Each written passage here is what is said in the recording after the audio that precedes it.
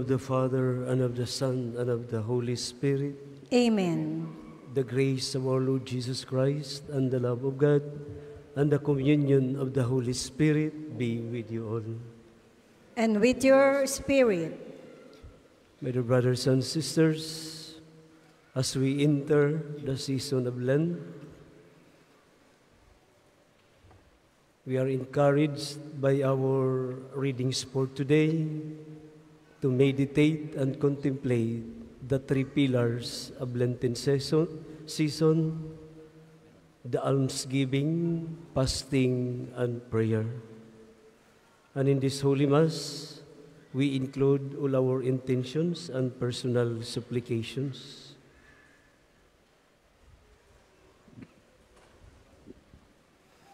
Coming together as God's family, let us acknowledge our sins and be sorry for them. I confess to, to Almighty God, and to you, my brothers and sisters, that I have greatly sinned in my thoughts and in my words, in what I have done and in what I have failed to do, through my fault, through my fault, through my most grievous fault. Therefore I ask Blessed Mary, ever Virgin, all the angels and saints, and you, my brothers and sisters, to pray for me to the Lord our God. May Almighty God have mercy on us, forgive us our sins, and bring us to everlasting life. Amen.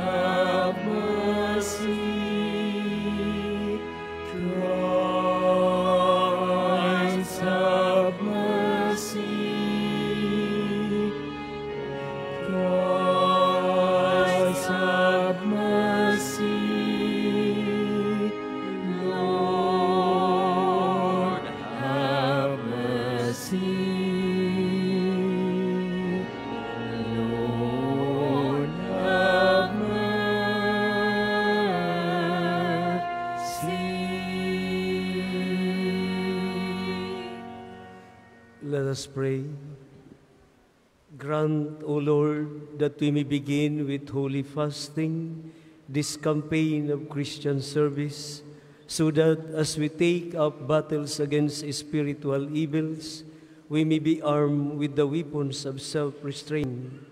We ask this, O Lord Jesus Christ, your Son, who lives and reigns with you in the unity of the Holy Spirit, one God, forever and ever. Amen. Please be seated.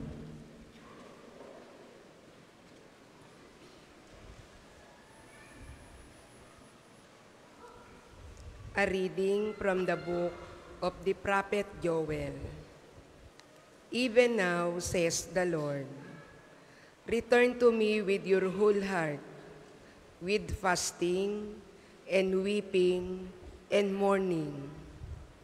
Rend your hearts, not your garments, and return to the Lord your God. For gracious and merciful is He, slow to anger, rich in kindness, and relenting in punishment. Perhaps he will again relent and leave behind him a blessing, offerings and libations for the Lord your God. Blow the trumpet in Zion, proclaim a fast, call an assembly, gather the people, notify the congregation, assemble the elders, gather the children and the infants at the breast. Let the bridegroom quit his room, and the bride her chamber. Between the porch and the altar, let the priest, the ministers of the Lord, weep and say, Spare, O Lord, your people, and make not your heritage a reproach with the nations ruling over them. Why should they say among the peoples, Where is their God? Then the Lord was stirred to concern for his land and took pity on his people.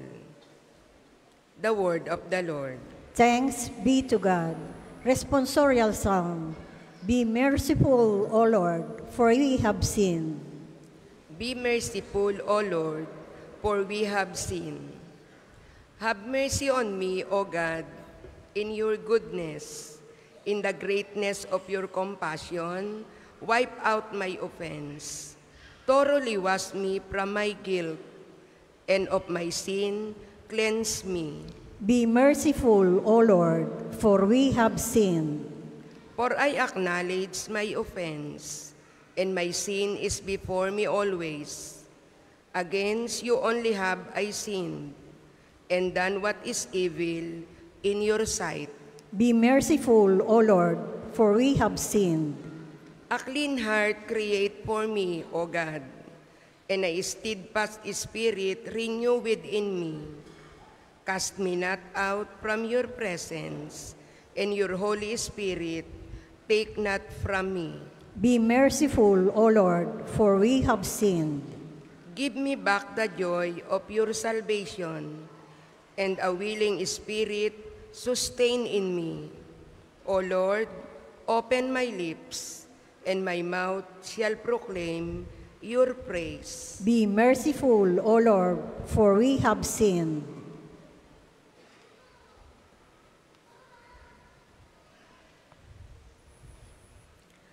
Reading from the second letter of St. Paul to the Corinthians. Brothers and sisters, we are ambassadors for Christ, as if God were appealing through us. We implore you on behalf of Christ, be reconciled to God. For our sake, he made him to be sin who did not know sin, so that we might become the righteousness of God in him.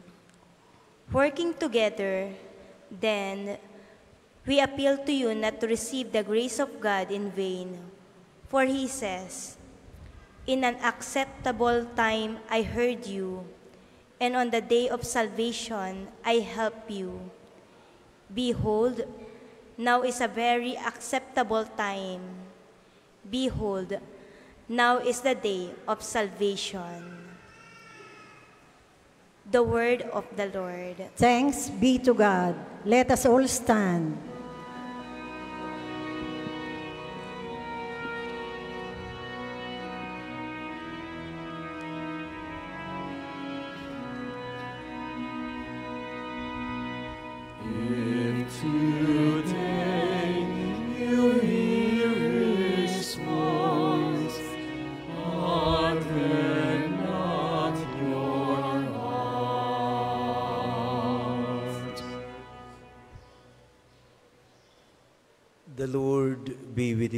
And with your spirit, A proclamation from the Holy Gospel according to Matthew. glory to you, O Lord. Jesus said to his disciples, Take care not to perform righteous deeds in order that people may see them. Otherwise, you will have no recompense from your heavenly Father. When you give alms, do not blow a trumpet before you, as the hypocrites do in the synagogues and in the streets, to win the praise of others. Amen, I say to you, they have received the reward. But when you give alms, do not let your left hand know what your right hand is doing, so that your almsgiving may be secret. And your Father who sits in secret will repay you. When you pray, do not be like the hypocrites who love to stand and pray in the synagogues and on the street corners, so that others may see them. Amen, I say to you, they have received the reward. But when you pray, go to your inner room, close the door, and pray to your Father in secret, and your Father who sees in secret will repay you. When you fast, do not look gloomy like the hypocrites. They neglect their appearance so that they may appear to others to be fasting. Amen, I say to you, they have received the reward.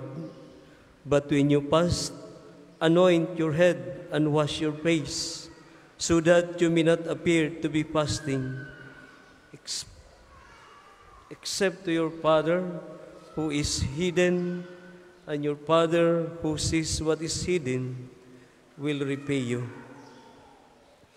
My dear sisters and brothers, the good news of our salvation. Praise to you, Lord Jesus Christ. Welcome to the National Shrine and Parish of Saint Padre Pio.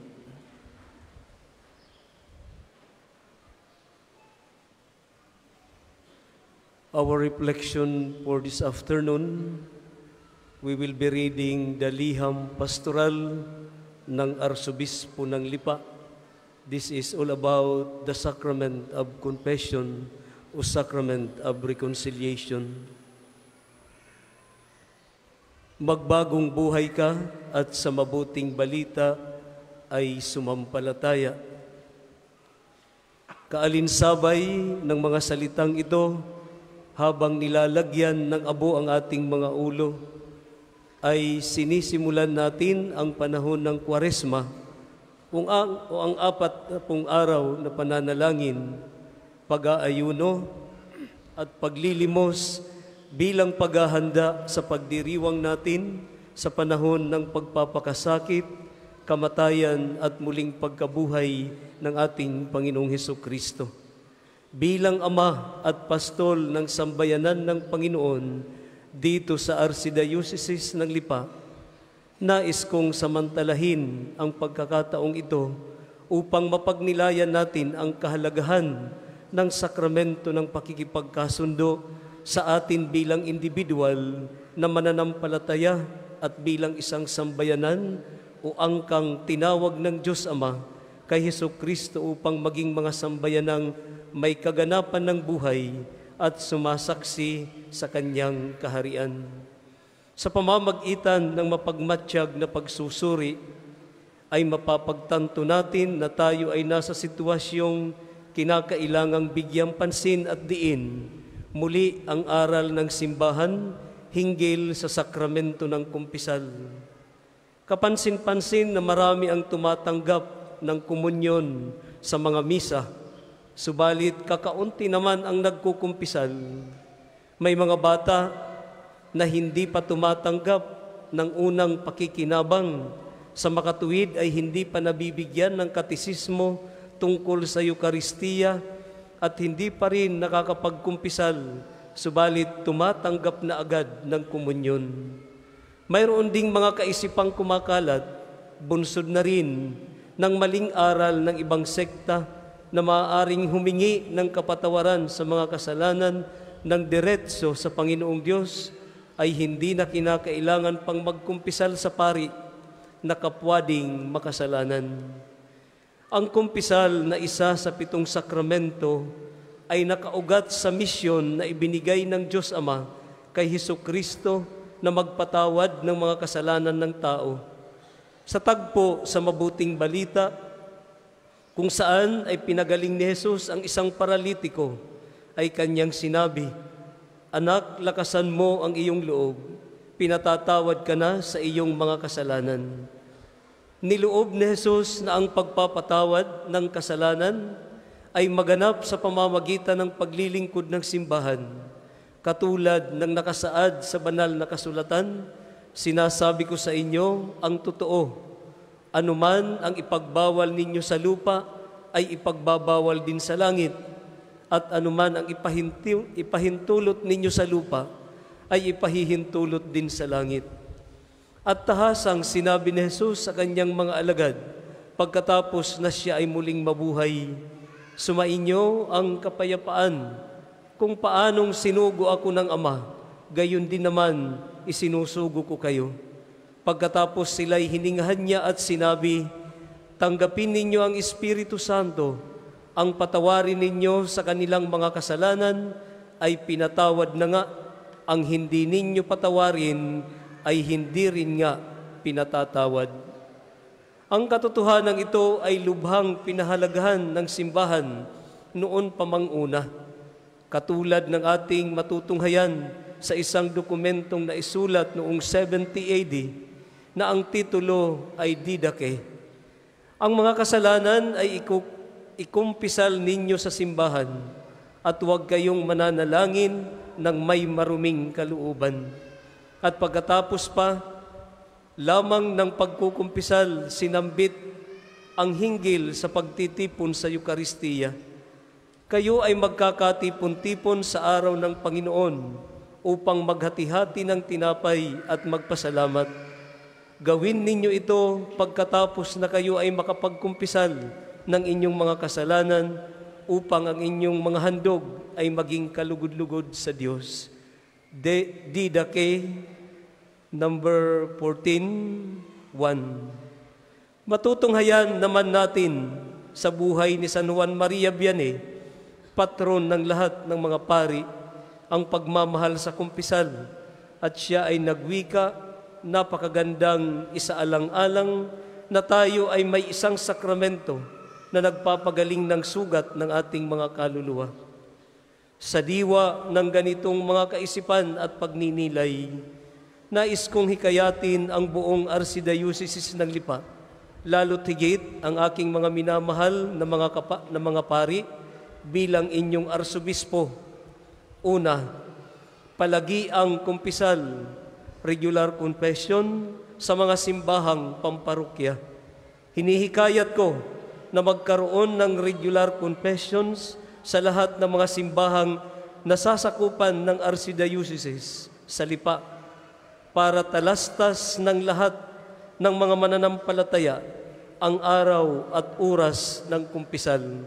Sa ganitong pamamaraan ay mabibigyan ng malimit na pagkakataon ang lahat sa kumpisal na isuko ang sarili sa pag-ibig at sa kumpisal ay nagpapahintulot na ang sarili ay baguhin ng pag-ibig.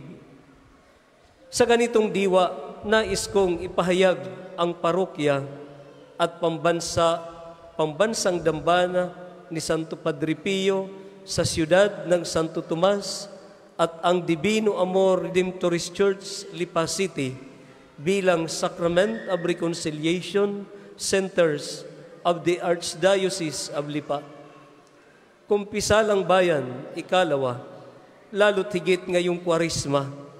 Sabi ni Papa Francisco, ang kwaresma ay panahon ng pagbabagong buhay, isang panahon ng kalayaan. Pinagninilayan natin tuwing unang linggo ng kwaresma na si Jesus mismo ay dinala ng Espiritu sa disyerto upang siya ay tuksuhin. Ang disyerto ay lugar kung saan ang ating kalayaan ay maaaring lumago sa pamamagitan ng personal na pagpili na huwag nang bumalik sa pagkaalipin. Ikatatlo, pag-aayuno at pangingilin, fasting and abstinence. Nais kong ipaalala na ang Miyerkules di Abo at Biyernes Santo ay mga araw ng pag-aayuno at pangingilin. Ang pag-aayuno ay para sa mga may edad, labing walo hanggang ikalimamput siyam taong gulang. Samantalang ang pangingilin mula sa karne ay para sa mga may edad, labing apat pataas, na matatagpuan po natin sa Code of Canon Law 1251 to 1252. Ang mga pinitinsyang ito ay naglalayong higit na makatulad ni Jesus sa pamamagitan ng pagtanggi sa sarili upang maranasan ang kalayaan ng pagiging mga anak ng Diyos. Ikaapat, pakikiisa sa Alwase, Archdiocese of Lipas Way of Almsgiving toward sanctification and evangelization ng Lipa Archdiocesan Social Action Commission or LASAC. Ito ay ang pagbibigay o pag-aalwas ng mga bagay na hindi na natin ginagamit Subalit maaari pang pakinabangan ng iba. Ito ay isang pamamaraan ng pagpapalaya mula sa tukso na maging makasarili at pagkagiliw sa anumang bagay na makamundo na nagliligaw sa atin na maituring ang Diyos na tangi nating kayamanan at kaligtasan. Bilang bahagi ng mga pagsasakripisyo, ikalima, inaanyayahan ko din ang lahat na makiisa sa mga magagandang kaugalian nating mga Katoliko sa panahon ng Kwaresma tulad ng pag-iistasyon ng krus, Santa Cruzada, mga banal na paglalakbay sa iba't ibang simbahan, pagbasa ng banal na pasyon, sinakulo o passion play, prosesyon at iba pa. Ang mga ito ay nakatuon sa mga misteryo ng pagkakatawang tao ni Jesus at sa panahon ng Kwaresma, tayo ay nagbibigay ng mas malalim na pagninilay sa pagpapakasakit at kamatayan ni Jesus. Ikaanim, pastoral na pakikilakbay o pastoral accompaniment. Sa mga kapatid nating nasa irregular na pagsasama, irregular union, may mga kapatid tayong nasa irregular na kalagayan tulad ng mga nagsasama ng hindi pakasal, may kinakasamang bukod pa sa unang asawa o may ibang kasama o nagsasama na may parehas na kasarian, same-sex union. Katulad ng lahat ng tao, sila din ay nangangailangan ng biyaya ng paggabay ng banal na Espiritu upang ang kanilang pamumuhay ay maging naaayon sa kalooban ng Diyos.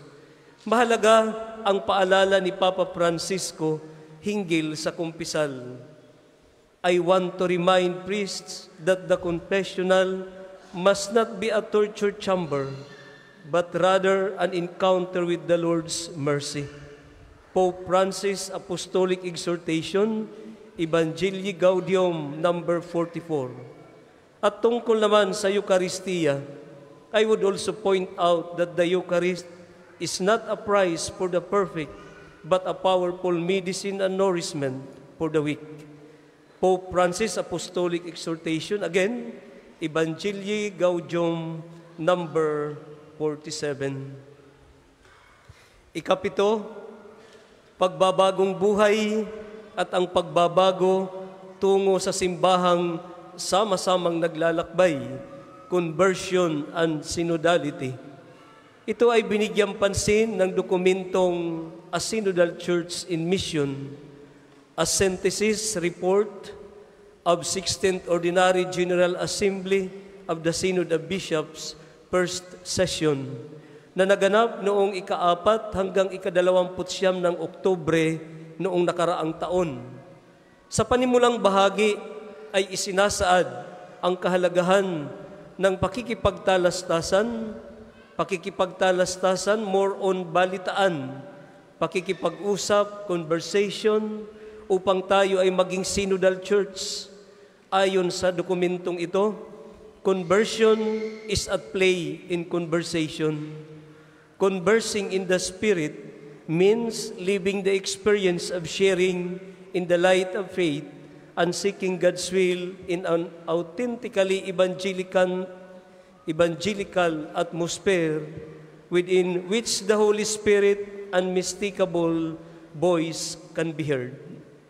Ang pagkakaisa ng simbahan ay matatamo natin kung may tunay at ganap na pagbabagong buhay na magdadala, maghahatid sa atin sa pinakamahalagang kaisahan, ang pakikipagkaisa kay Heso Kristo. Sa katapusan, tularan natin ang mahal na Berhing Maria na naging tapat hanggang sa paanan ng krus. Pakinggan natin ang paalala ni Maria sa bawat isa sa atin, tulad ng iniutos ni Maria sa mga alipin na lingkod sa kasalan sa Kana Galilea, sundin ninyo ang anumang iutos o sabihin ni Jesus sa inyo. Liham pastoral ng ating Arsobispo, Arsobispo Gilbert Garcira, Arsobispo ng Lipa. Palakpakan po natin ang Panginoon. Please all stand. Dadako na po tayo sa bahagi ng paglalagay ng abo sa ulo. Ang, ang abo pong ating gagamitin ay galing sa mga palaspas na binasbasan noong linggo ng palaspas ng nakaraang taon. Ito pong abo ay binasbasan kaninang umaga sa loob ng pagdiriwang ng banal na misa na pinangunahan ng ating Arsobispo Gilbert Garcera. Sasambitin ko po ang formula na binabanggit ng pari at ministeryo ng paglalagay ng abo para po tayo mapabilis sa ating paglalagay ng abo. Ang inyo pong itutugon ay Amen. Magbagong buhay ka at sa mabuting balita ay sumampalataya. Amen. Sa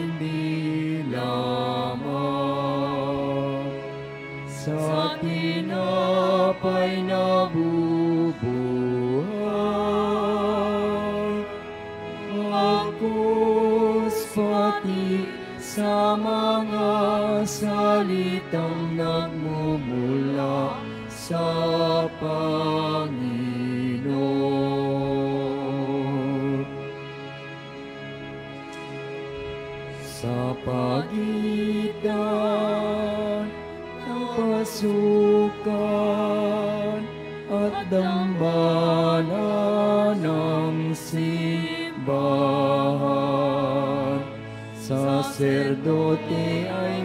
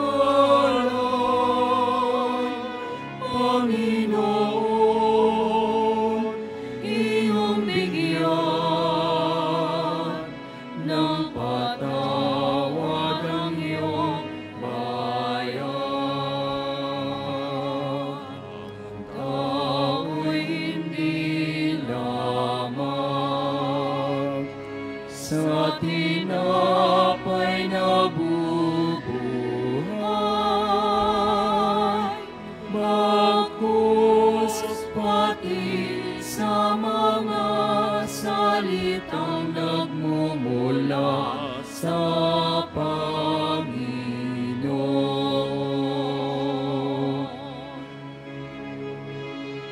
Magsisi tayong mataos,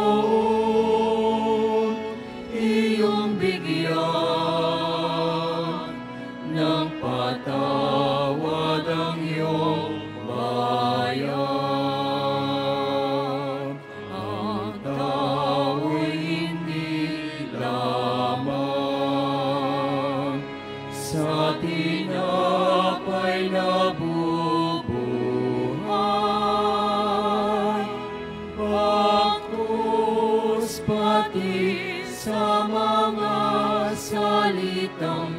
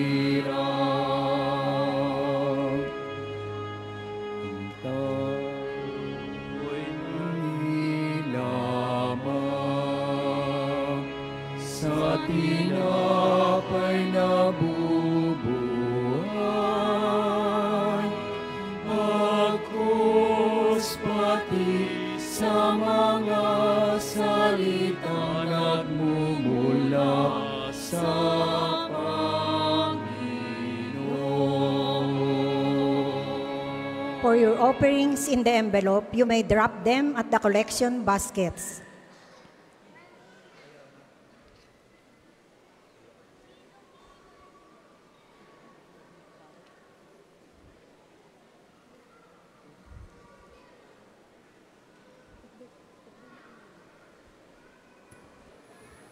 Para maunawaan po ng lahat ang paglalagay natin ng abo sa ating mga noo. Kung babalikan po natin ang lumang tipan sa aklat ni Propeta Jonah at ni Propeta Daniel, doon po iniutos ni Yahweh na maglagay ng abo sa mga ulo bilang pagsisisi at pagtalikod sa mga kasalanan. Kaya wala po itong kapangyarihan per se na magical power ang ating inilagay na abo sa ating mga noo.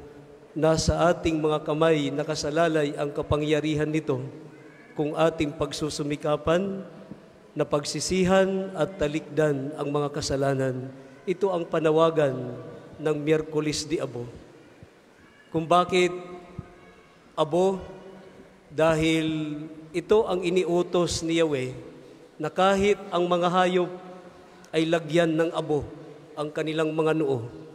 Kaya kung itinatanong ng iba, bakit yung mga musmos, mga bata na wala pang isip ay nilalagyan ng abo, doon niya sa utos ni Yahweh, pati mga hayop, pinalalagyan para ito maging general ang pagsisisi sa lahat ng mga kasalanan. Ibig sabihin, pakikisangkot. Ano? At bakit naman cross?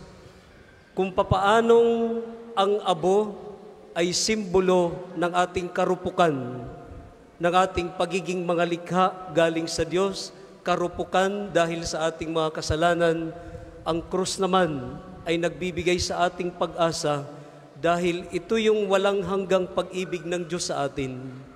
Parang sinasabi sa krus na ito, patuloy ang aking pagbibigay sa inyo ng kapatawaran na kahit paulit-ulit ang inyong pagkakamali, pagkakasala, nandito ako kung kayo hihingi lamang ng kapatawaran at pagsisisihan ang inyong mga kasalanan. Kaya napakaganda pong pagnilayan yung dalawa, yung as at cross na pagdudugtungin dahil sa pag-ibig ng Diyos.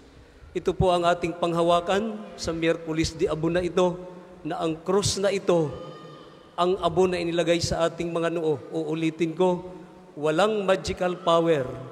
Nasa ating mga kamay ang kapangyarihan na ito kung tayo ay magsusumikap na pagsisihan at talikdan ang mga kasalanan.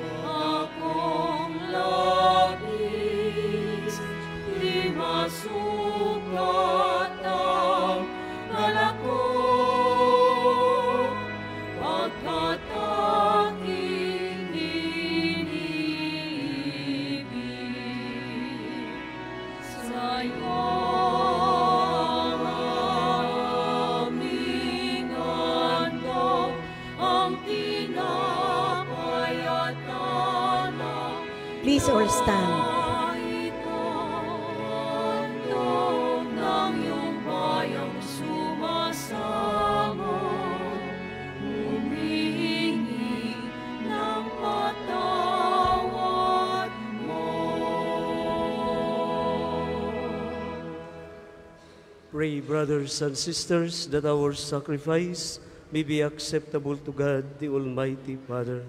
May the Lord accept the sacrifice at your hands for the praise and glory of his name, for our good and the good of all his holy church. As we solemnly offer the annual sacrifice for the beginning of Lent, we entreat you, O Lord, that through works of penance and charity, we may turn away from our harmful pleasures and cleanse from our sins, may become worthy to celebrate devoutly the passion of your Son, who lives and reigns forever and ever. Amen. The Lord be with you. And with your spirit, Lift up your hearts. we lift them up to the Lord. Let us give thanks to the Lord our God. It is right and just. It is truly right and just, our duty and our salvation, always and everywhere to give you thanks, Lord, Holy Father, Almighty and Eternal God. For you will that our self-denial denial should give you thanks, humble our sinful pride, contribute to the feeding of the poor, and so help us imitate you in your kindness. And so we glorify you with the countless angels and archangels in heaven, as with one voice we praise and we claim.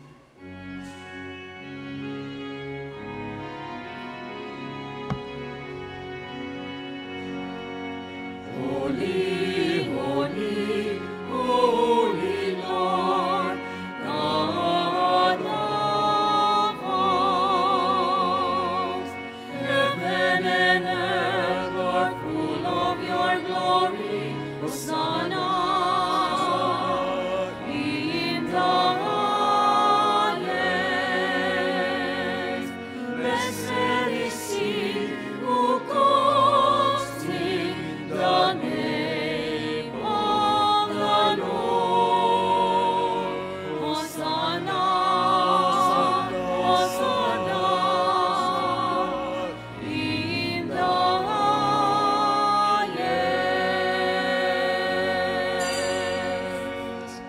Those who cannot kneel, please remain standing with reverence. You are indeed holy, O Lord, the fount of all holiness. Make holy therefore these gifts, we pray, by sending down your Spirit upon them like the dewfall, so that they may become for us the body and blood of our Lord Jesus Christ. At the night he was betrayed and entered willingly into his passion, he took bread and giving you thanks, broke it and gave it to his disciples, saying, Take this, all of you, and eat of it, for this is my body, which will be given up for you.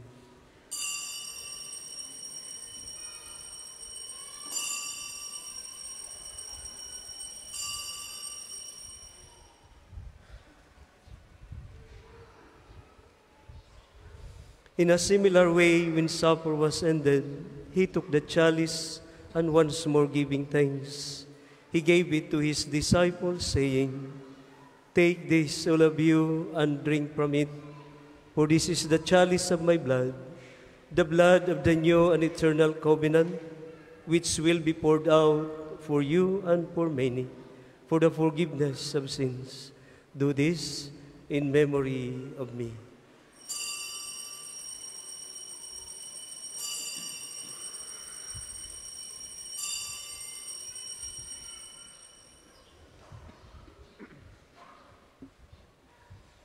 The mystery of faith. We proclaim your death, O Lord, and profess your resurrection until you come again.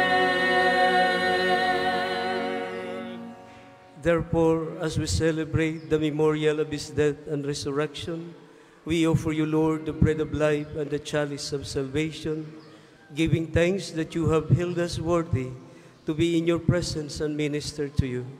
Humbly we pray that partaking of the body and blood of Christ, we may be gathered into one by the Holy Spirit. Remember, Lord, your church is spread throughout the world, and bring her to the fullness of charity, together with Francis, our Pope, Gilbert, our Bishop, and all the clergy. Remember also our brothers and sisters who have fallen asleep in the hope of the resurrection, and all who have died in your mercy. Welcome them into the light of your face. Have mercy on us all, we pray, that with the Blessed Virgin Mary, the Mother of God, with Saint Joseph, her most chaste spouse, with the blessed apostles, and all the saints, Saint Padre Pio, who have blessed you throughout the ages, we may be merit to be co-heirs to eternal life, and we praise you and glorify you through your Son, Jesus Christ. Through Him, with Him, and in Him, and the unity of the Holy Spirit, all glory and honors is yours, Almighty Father, forever and ever. Amen. Amen. Amen.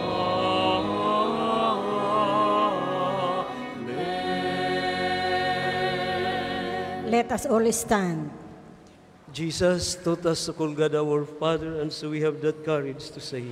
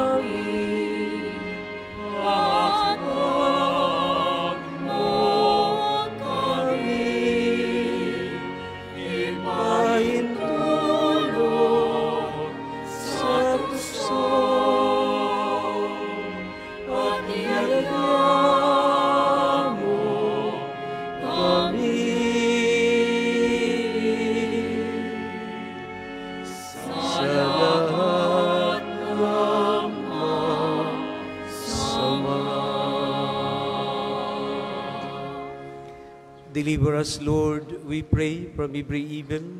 Graciously grant peace in our days, that by the help of your mercy, we may be always free from sin and safe from all distress, as we await the blessed hope and the coming of our Savior, Jesus Christ. Sapagkat iyong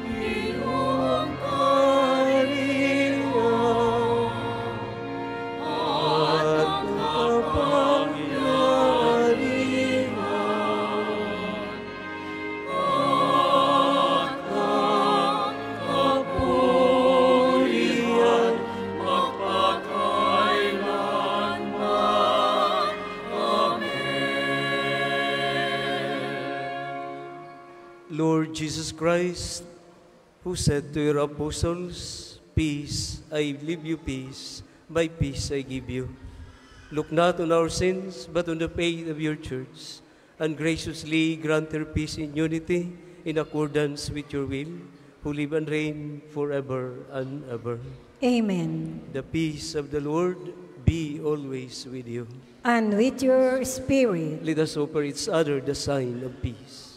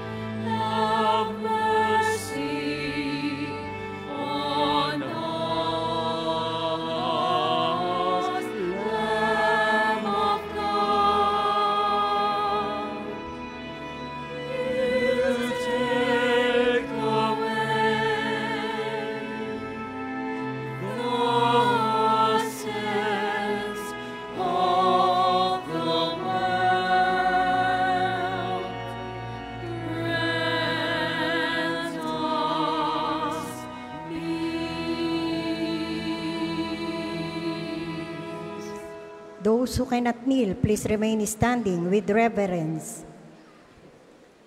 My dear sisters and brothers, this is Jesus Christ, the Lamb of God, who takes away the sins of the world. Happy are those who are invited to receive at His banquet.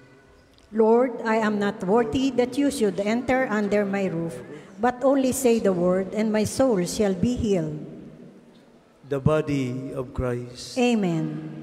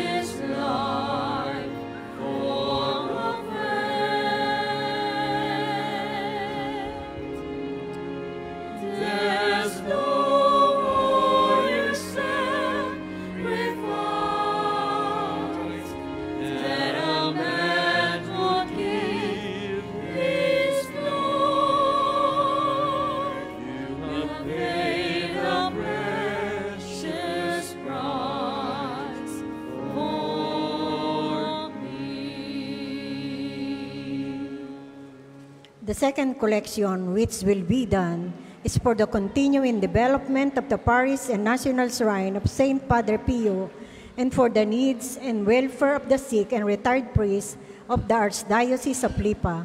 Thank you for your offering.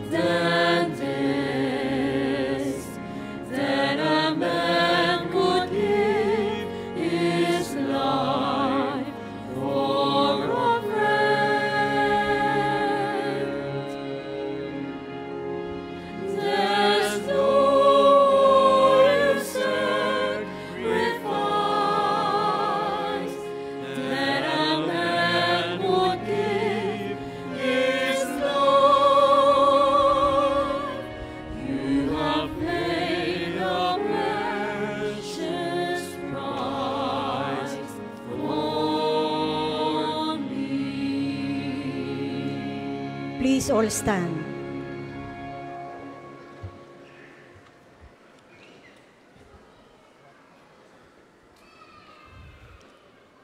Let us pray.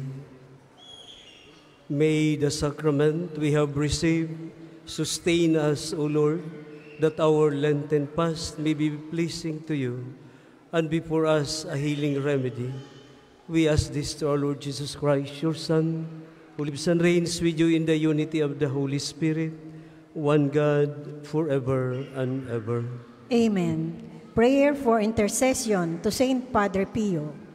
Padre Pio, holy monk from Pietrelcina, outstanding saint of the present era, our bright beacon in this earthly pilgrimage, our sanctuary in times of trouble, holy exemplar of great courage, with you our needs do we confide, as well as our livelihood, our health, and our might.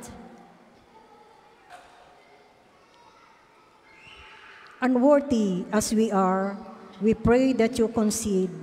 Bless and grace us that our lives may be fulfilled. From sin may we abstain, in God may we remain. We also beseech thee, servant of the Most Holy, to instruct us in the gospel, that we may reflect and believe. Our requests are before thee. our hearts repent, resolving earnestly to not sin again, to always follow God the Father, together with the Spirit and Jesus the Mediator. Amen. Please be seated for some announcements. Una, sa inyong pagdalaw sa pambansang dambana, mangyaring pakaingatan ang inyong mga personal na gamit. Hangad namin ang isang matiwasay at maayos na pagbisita sa National Shrine.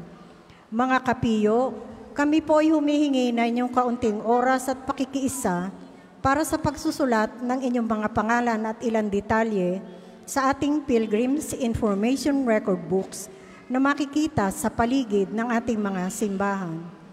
Ito po ay bahagi ng documentation program para sa pagpapalawig ng mga datos at turismong pangsimbahan at bilang alaala din ng inyong pagbisita sa Pambansang Dambana. Para po sa ating mga balikbayan, OFW at mga kasama niyong foreigners, doon po kayo magsusulat sa International Pilgrims Record Book. Gagabayan po kayo ng ating mga tagapaglingkod. Ikatlo, Narito po sa atin ngayon ang mga taga-parokya ng Dambana ni San Vicente Ferrer sa Banay-Banay ng Lipa upang magbenta ng raffle tickets para sa kanilang pagpapatayo ng multi-purpose building. Sila po ay nasa bandang likuran at gilid ng simbahan. Atin po silang suportahan.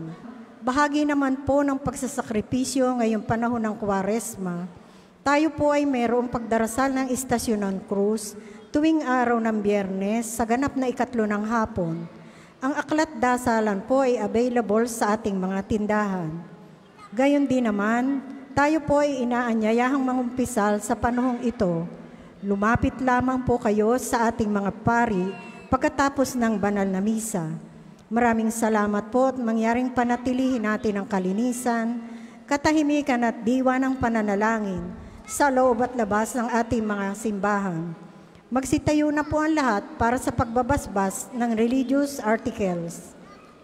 Mga kapatid, manalangin tayo sa Diyos amang makapangyarihan upang tayo ay maging kawangis ni Kristo sa taimtim na pagdalangin sa tulong ng mga larawan at ng mga dasalan. O Panginoong Diyos, Ikaw ang bukal ng lahat ng pagpapala at biyaya.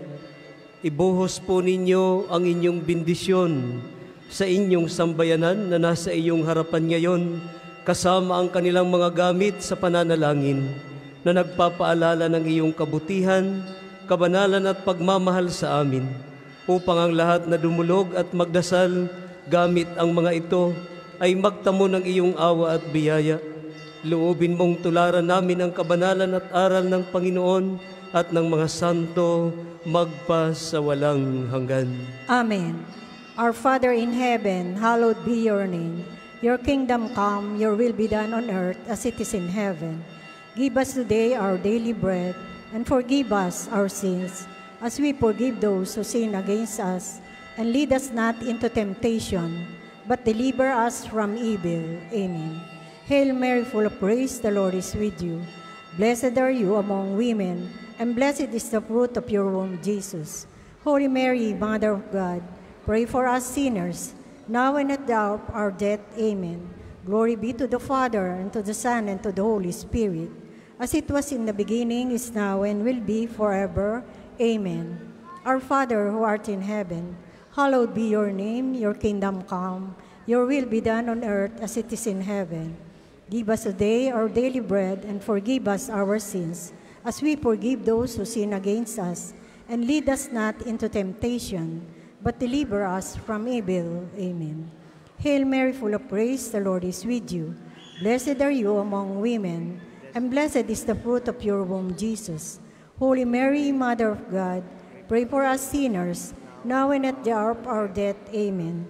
Glory be to the Father, and to the Son, and to the Holy Spirit, as it was in the beginning, is now, and will be, forever. Amen. Hail Mary, full of grace, the Lord is with you. Blessed are you among women, and blessed is the fruit of your womb, Jesus. Holy Mary, Mother of God, pray for us sinners, now and at the hour of our death. Amen. Glory be to the Father, and to the Son, and to the Holy Spirit, as it was in the beginning, is now, and will be, forever. Amen. Hail Mary, full of grace, the Lord is with you. Blessed are you among women, and blessed is the fruit of thy womb, Jesus. Holy Mary, Mother of God, pray for us sinners, now and at the hour of our death. Amen. Glory be to the Father, and to the Son, and to the Holy Spirit, as it was in the beginning, is now, and will be forever. Amen. Glory be to the Father, and to the Son, and to the Holy Spirit, as it was in the beginning, is now, and will be forever. Amen. Glory be to the Father, and to the Son, and to the Holy Spirit, as it was in the beginning, is now, and will be forever. Amen. Glory be to the Father, and to the Son, and to the Holy Spirit, as it was in the beginning, is now, and will be forever. Amen. Glory be to the Father, and to the Son, and to the Holy Spirit, as it was in the beginning, is now, and will be forever. Amen. Glory be to the Father, to the Son, and to the Holy Spirit, as it was in the beginning, is now, and will be forever. Amen. Glory be to the Father, and to the Son, and to the Holy Spirit, as it was in the beginning, is now, and will be forever. Amen.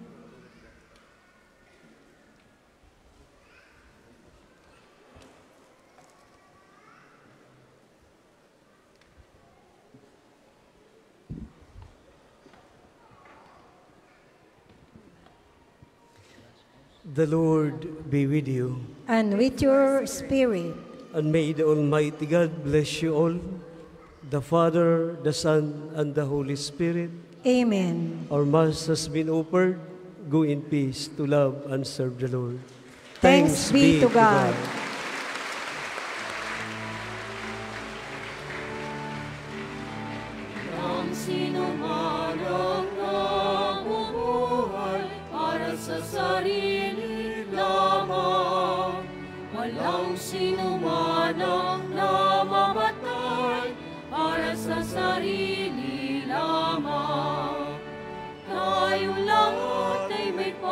panagutan sa isa't isa.